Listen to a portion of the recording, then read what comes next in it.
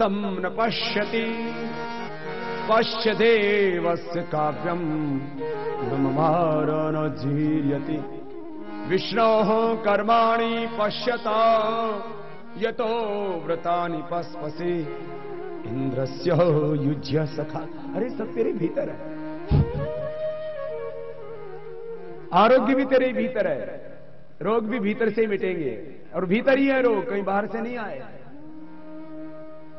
ज्ञान भी तेरे भीतर है। यस्मिन ऋचहसा में जोन्स यस्मिन प्रतिष्ठिता रथनाभा विवारा यस्मिश्चित्तम सर्वमोतम प्रजानाम तन्मे मन शिव संकल्प इस युग के महान ऋषि संत, स्वामी शंकर देव जी महाराज, माधव देव जी महाराज ने कहा, सब कुछ तेरे ही भीतर है। उन्होंने मंदिर बनवाए नहीं, मूर्ति प्रतिमा रखी ही नहीं। शंकर देव जी के मंदिर में कोई मूर्ति प्रतिमा नहीं है, ज्योत जलती है। अरे तो अपने भीतर की ज्योत जला।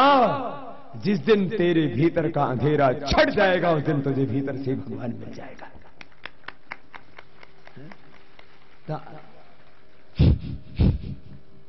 गीता में भगवान श्री कृष्ण भी यही कहते हैं, ईश्वर सर्वभूताना हृदय अर्जुन तिष्ठ तेरे भीतर शिव है और तू ही शिव है।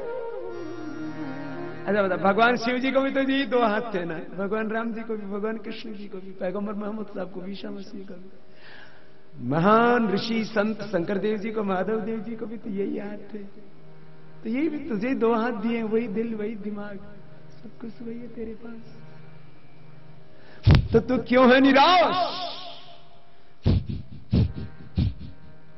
उत्तिष्ठता जागृता प्राप्त वरण्य बोधता उत्तिष्ठता, जागृता, प्राप्त वरान्य बोधता क्षर से धारा निष्ठा दुरतया दुर्गम पथस्तत्कवयो वदन यो जागार तम ऋचा कामयन्ते यो जागार तम सामान्यन्ते।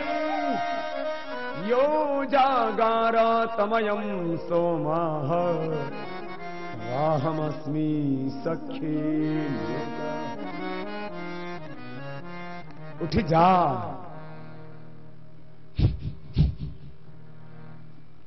बचपन में क्या पढ़, एक कविता सुनते थे ना, बहुत छोटे बच्चे थे। उठ जाग मुसाफिर भोर भई, अब ने कहा, जो सोवत है, उठ जाग मुसाफिर भोर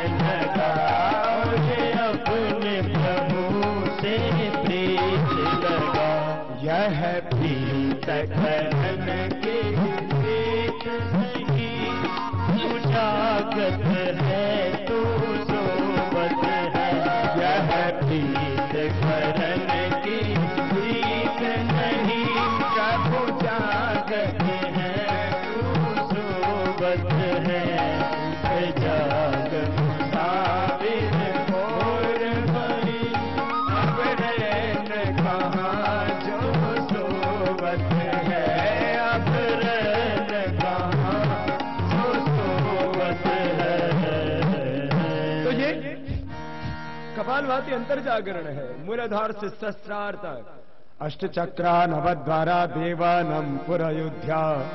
तस्या कोश स्वर्गो ज्योतिषावृत। आठ चक्रणों द्वार तेरे भीतर ये देह अयोध्या यही काशी यही मथुरा यही मानस सरोवर है। बाहर के अयोध्या में मंदिर नहीं बन पाया कोई बात नहीं तो अपने भीतर को तो मंदिर बना वो भी बन जाएगा। बाहर का मंदिर तो बन जाएगा मैंने सैकड़ों, हज़ारों मुसलमानों से बात की, मुसलमानों के नेताओं से बात करी। मैंने कहा, भाई, क्या अयोध्या में मंदिर बनना चाहिए? बोले, बाबा जी, बनना चाहिए। हमारा तो कोई क्लेम ही नहीं है। बोले तो सबको पता है। बाबर तो कहीं उधर रूस के पास एक छोटे से कहीं देश में पैदा हुआ था और वहाँ से उसने जब वहाँ गद्दारी की थी देश के साथ तो उसको देश निकाला, दे दिया था, वो यहाँ आ गया। भाई, बाबर तो हिंदुस्तान में पैदा ही नहीं हुआ। और ये देश नहीं, पूरी दुनिया जानती है। राम अयोध्या में पैदा हुआ, वो तो है ही जन्मभूमि। तो उसमें किसी को विवाद नहीं है। दरअसल ये राजनेता जहाँ घुस जाते हैं ना, वहाँ गड़बड़ी कर देते हैं। तो अयोध्या में मंदिर बनाने में मुसलमानों को तकलीफ़ नहीं है। उसमें कुछ अराजक तत्व घुस गए, उनको तकलीफ़ है। नहीं तो हर मुसलमान बोल, मैंने तो टीवी इंटरव्यू में आपने देखा होगा, आज तक के ऊपर, स्टार के ऊपर, सब मुस्लिम नेता और जिन्होंने केस कर रखा उनको मैंने, जब अयोध्या में शिविर हुआ, उस ज़िले का नाम भी दुर्भाग्य से फैजाबाद है। मैंने कहा, कितना बड़ा दुर्भाग्य है, कितना बड़ा दुर्भाग्य है कि आज़ाद भारत में एक परिवार के नाम आधे से ज़्यादा सरकारी योजनाएँ, सरकारी संस्थान, सारा आधे से ज़्यादा देश एक परिवार के नाम कर दिया गया। लेकिन भगवान राम जिस धरती पर पैदा हुए, उस ज़िले का नाम भी अयोध्या तुमने नहीं किया। शर्म आनी चाहिए तुमको। लाना मैं किसी परिवार का एक विरोधी नहीं हूँ, लेकिन मैं कहता हूँ, इस देश में क्या कि ऋषि, मुनि, साधु, संत, महात्मा, फकीर, क्रांतिकारी कोई हुए नहीं? एक ही परिवार पैदा हुआ इस देश के अंदर। उसके नाम आधे से ज़्यादा हिंदुस्तान कर दिया थे, एयरपोर्ट हो चाहे स्कूल हो, कॉलेज हो, यूनिवर्सिटी हो, सड़क हो, भवन हो, सरकारी योजनाएँ हो, बहुत कुछ करना है। और अंग्रेज़ों के नाम से अभी तक इस देश में बहुत से शहर, कॉलेज, बहुत कुछ बसा हुआ है। यह कोई भी आज़ाद मुल्क गुलामी की निशानियों को समेट के नहीं रखता है, बल्कि गुलामी की निशानियों को मिटा के रखता है। स्वाभिमान कहते हैं। हमने तो सारी गुलामी की निशानियों को संजो के रखा हुआ वास्को डिगामा जिसने हिंदुस्तान लूटा करजन जिसने हिंदुस्तान को लूटा, बर्बाद किया, तबाह किया। और एक उधर और शहर है उधर चंडीगढ़ से ऊपर, क्या नाम है उसका डल हो जी। सब, और इधर विक्टोरिया। मैंने ये, एक तो बड़े जहाज़ छोटी जहाज़ है उसके ऊपर वी से नंबर शुरू होता है, हिंदुस्तान में भी। मैंने कहा भाई ये वी का मतलब क्या है? बोले, वी का मतलब विक्टोरिया। मैंने कहा, विक्टोरिया मर गई ऊपर, स्वर्ग में, नर्क में जहाँ भी गई होगी। लेकिन जहाज़ उसके नाम से तुम अभी भी चलाते तुमको शर्म नहीं आती? सारे ऐसे ही काम हो रखे हिंदुस्तान में। सारी गुलामी की निशानियाँ। शिक्षा हमारी वही ब्रिटिश एजुकेशन सिस्टम, टीबी में काले का। चिकित्सा वही अंग्रेज़ों की। कानून वही अंग्रेज़ों के। कोई क्या है अपना? कुछ है ही नहीं। भाषा वही। चौसठ साल पहले अंग्रेज़ चले गए। आज भी अंग्रेज़ी हमारा जी मतलब खून पी रही है। हमारे हिंदुस्तान के बच्चों को, गाँव के बच्चों को, गरीब के बच्चों को यदि भारतीय भाषाओं में पढ़ाया जाए तो गरीब का बच्चा रेडी चलाने वाले का, ठेला चलाने वाले का, किसान का बच्चा भी IAS IPS officer doctor engineer scientist बन सकता है। भारतीय भाषाओं में पढ़ाओ। अच्छा बताओ। इटली में किसमें पढ़ाते हैं? जो इटली छोटा सा देश है, इटालियन में पढ़ाते हैं। जर्मन जर्मनी में किसमें पढ़ाते हैं? जर्मन में फ्रांस में फ्रेंच में।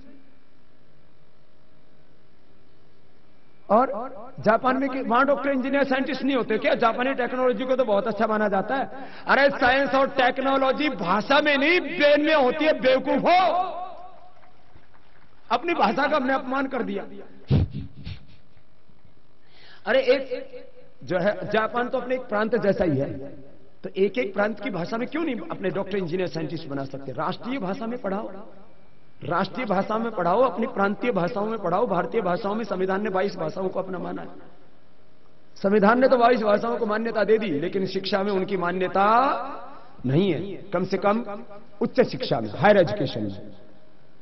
आपको बीकॉम करना है एम टेक करना है बीटेक करना है सीए करना है आपको चार्टेड अकाउंटेंट बनना है एमबीए करना है आपको एमबीबीएस करना है बीएमएस करना है आपको डॉक्टर इंजीनियर साइंटिस्ट बनना है तो क्या पढ़ना पड़ेगा बोलो? अंग्रेज़ी। मैंने कहा ये अंग्रेज़ पहले चले गए चौसठ साल पहले अरे अंग्रेज़ी आदमी खून पी रही है सबका? इस अंग्रेज़ी को भी देश निकाला देना है।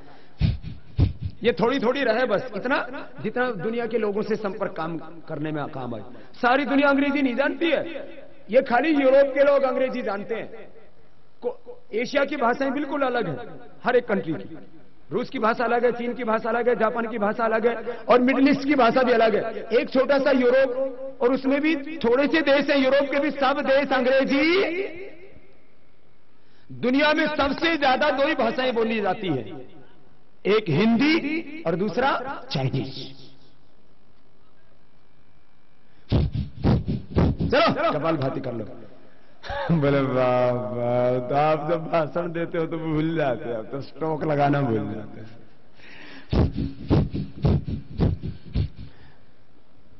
बात कुछ वतन में ठीक करना है।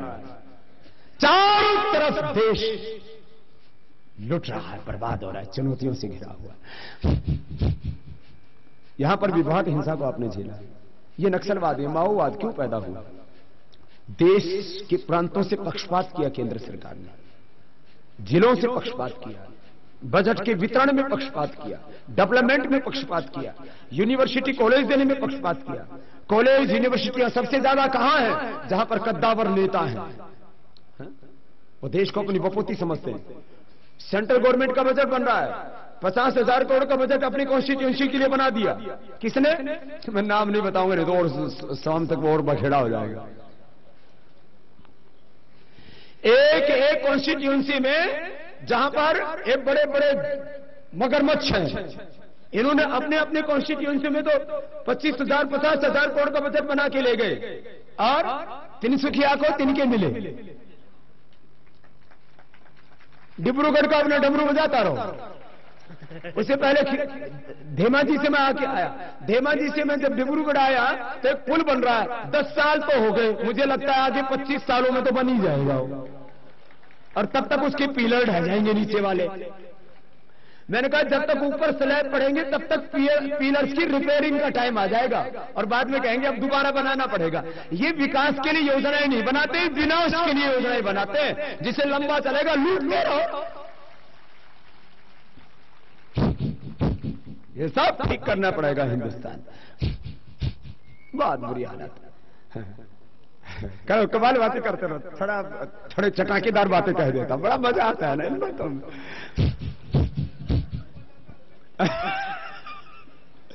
कपाल भाती करते हैं एक कांग्रेस के नेता मुझसे पूछते हैं, बाबा, तेरे पास कितनी संपत्ति है?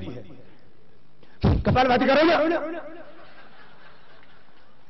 तुम भी बड़े कॉन्शियस हो गए मैंने कहा, मेरे पास में ना एक रुपए की संपत्ति जे भी नहीं ना देश और ना किसी भी देश के बैंक में खाता। अरे, कांग्रेसियों, तुम बताओ, ये इटली के आठ बैंक क्यों लेकर के आए हिंदुस्तान में? आठ बैंक तो इटली के लेकर के आ गए, और चार स्विट्जरलैंड के लेकर के आ गए। ये मेरे पास में पूरी लिस्ट है। आप भी reserve bank of India. RBI की वेबसाइट पर जाकर के देख लेना। आठ बैंक इटली के, चार बैंक स्विट्जरलैंड के, चोर बैंकों को बुला रखा एक एक ने पूछा मेरे से, बोले, बाबा क्यों बुलाए? मैंने कहा, पहले इनको बाहर ले जाना पड़ता था, हवाले से इधर उधर से भेजना पड़ता था, बड़ा जोखिम था। बोले, भाई, तुम यहीं आ जाओ ना। बोले, अब तो हमें पूरा ज़्यादा चोरी करनी है। अब इटली के बैंक हिंदुस्तान में खोलने का मतलब क्या है? आप लोगों ने किसी इटली के बैंक में पैसा जमा कराया? बोले तो मैंने तो चलो खाता ही नहीं खुलवाया। आप लोगों ने खाता तो खुलवा रखा है। वह खाता तो है ना तुम्हारा? बैंक में? तो किसी ने इटली के बैंक में खाता खुलवाया? क्यों नहीं खुलवाया? बोले, बाबा, हमारा इटली के बैंक से क्या मतलब? तुमने स्विट्जरलैंड के बैंक में खाता खुलवाया? तो ये ये क्यों क्यों बुलवाए ये बैंक? दुनिया का सबसे बड़ा बैंक, स्विट्जरलैंड का सबसे लुटेरे बैंक का नाम बताओ तो। यूबीएस यूबीएस सबसे ऊपर है। पहले चोर बैंक बाहर थे, उनको यहीं बुला लिया। बोले, भाई, बाहर ले जाने में दिक्कत हो रही है। अब तो लाखों करोड़ रुपए लूट रहे हैं। थोड़े बहुत पहले लूटते थे, वो तो भेज भी देते थे। अब तो यहीं आ जाओ तो चोरों को यहीं बुला लिया। मैंने तो बता दिया, मेरे नाम ना एक इंच ज़मीन और ना एक एक इंच ज़मीन और ना एक रुपया बैंक बैलेंस से मेरा झोड़ा चेक कर लो आश्रम चेक कर लो। गवर्नमेंट ने हा? मुझे लगता है कांग्रेस को अपने ही कारनामों के बारे में पता नहीं है। पहले मैं कांग्रेस को निशाना नहीं बनाता था, लेकिन बाबा पर निशाना नहीं, बाबा पर निशाना उन्होंने पहले साधा, पहले उन्होंने किए। पहले मैं सिस्टम के खिलाफ बात कर रहा था। अब बाबा को छेड़ा है तो बाबा छोड़ेगा नहीं।